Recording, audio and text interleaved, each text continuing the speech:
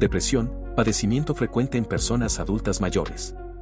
La depresión es uno de los padecimientos de salud mental más comunes en las personas adultas mayores. Se estima que este trastorno afecta a una parte significativa de esta población debido a una combinación de factores biológicos, genéticos, psicológicos y sociales. A menudo, el fallecimiento de seres queridos, traumas de la infancia, problemas económicos, así como enfermedades crónicas y cambios endocrinológicos, son detonantes que contribuyen al desarrollo de la depresión en los mayores de 60 años.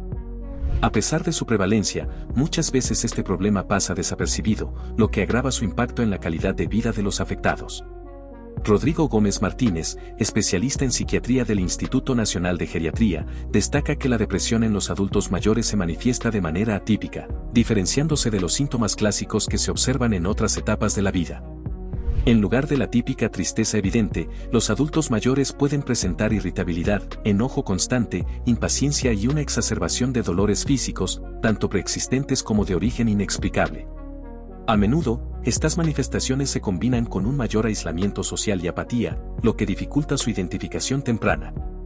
El especialista subraya la importancia de llevar a consulta médica a las personas mayores si se observan síntomas persistentes como tristeza, sentimientos de vacío, cansancio extremo, y pérdida de interés en actividades que solían disfrutar.